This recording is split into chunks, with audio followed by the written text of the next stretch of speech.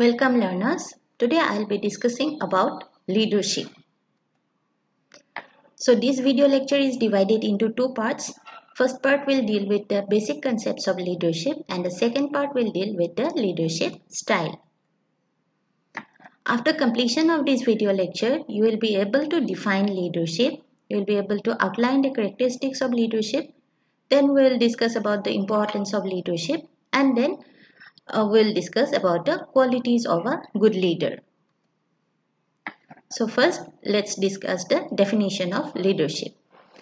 In the words of Koontz O'Donnell, leadership is the ability of a manager to induce subordinates to work with zeal and confidence.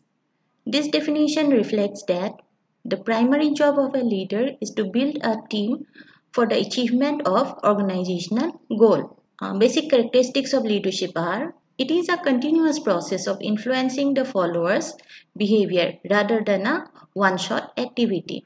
So, leader uh, continuously motivates the followers to act in a proper way. It is a personal quality of character and behavior in man which make him fit to exert an interpersonal influence. There should be a group of followers for leadership function. So to become a leader, you need to have some followers. It is the relationship between a leader and his followers.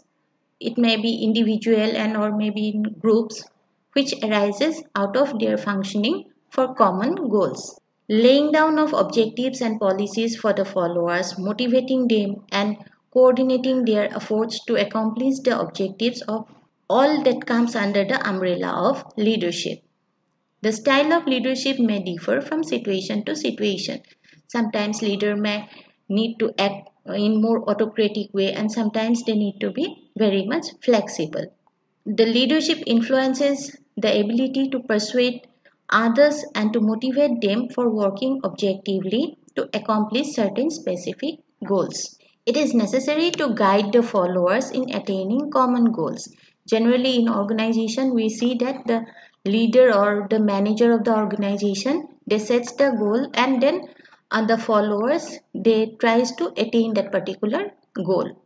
So while giving guidance the leader shows his feelings of recognition for the followers as well as conveys them the importance of their work. It is a process through which the leader exercises an influence on the members of a group. Then let's discuss the importance of leadership Leadership is a process of influencing the behavior of member of a group. Thus, effective leadership is highly essential in inspiring the people to accomplish the specific objectives. For efficient and effective functioning of an organization, it needs the guidance of a good leader. So there is a need to direct the activities of the members in a certain way to achieve the specified objectives in the organization. So uh, to become a success in the particular business or in any organization, you need to have a good leader. Then let's discuss the importance of leadership in management. So one of the most important thing in management is the determination of goal. Generally, the leader determines the goal for their followers. Then organization of activities. That means who will perform what kind of task, how to design them. All these things were performed by the leader then accomplishing coordination. In any organization there are different types of uh, departmentations different activities were there which needs uh, coordination among all the departments. So this task is also performed by a leader. Then providing guidance. In the time of crisis whenever uh, any follower needs guidance the leader provides the guidance to them. Then building employees morale. So leader acts as building moral for their employees. Then they facilitate change. If any new things, new machineries, new situation arises, so leader helps the followers to overcome those situation.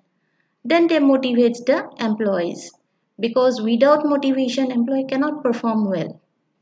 So motivating the employees, providing them proper reward and recognition is another function of the leader. Then what are the qualities required to be a good leader?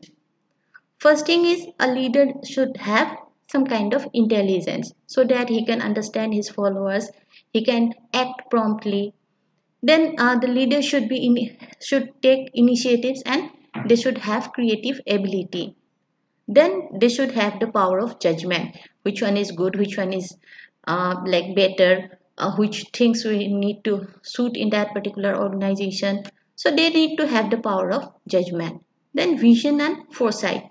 They should be able to see the future like what things will be better in future. So they should be able to have uh, better vision. Then mental and emotional maturity. They should not uh, act emotionally or maybe like out of some okay crisis. All of a sudden they should not take decision. They should be more matured in this regard then uh, they should have the quality of flexibility.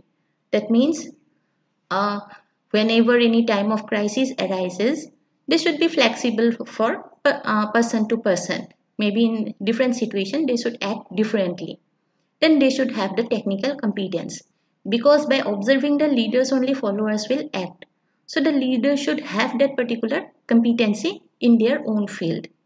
Then they should have the self confidence and the last point is they should have proper human relations attitude. If the behavior of a leader is not good then definitely people will not follow him. I think you have understood whatever we have discussed so far. See you in my next video class. Thank you